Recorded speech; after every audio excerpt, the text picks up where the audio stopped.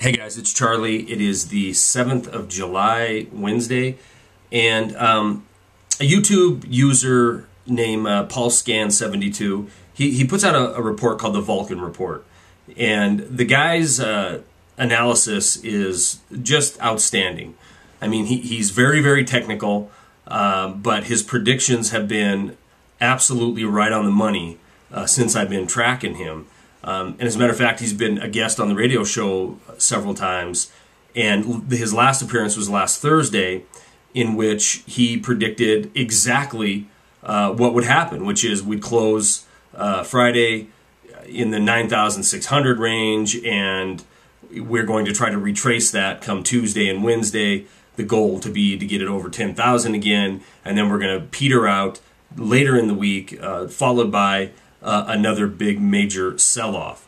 So, uh, you know, my hat's off to Dex over there at uh, PulseScan72. If you're not subscribed to him um, and you follow the markets at, at all, you, you, really should get over there and subscribe to him.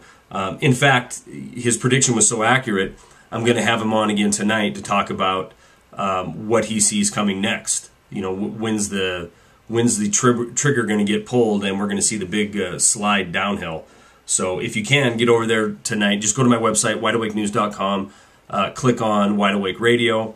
Uh, the program starts at 5 o'clock West Coast time, 6 o'clock Mountain, 7 o'clock Central, 8 o'clock East. It runs for one hour. If you go to my website, click on Wide Awake Radio. Um, all you have to do is click on the media player icon that you use, and the show will start playing. So, anyway, I hope I, you guys can make it there tonight. If you do, uh, we put a chat room in over there.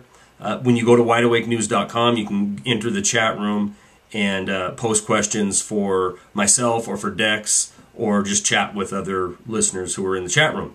Anyway, I hope I uh, see a lot of you there tonight. That's all I got.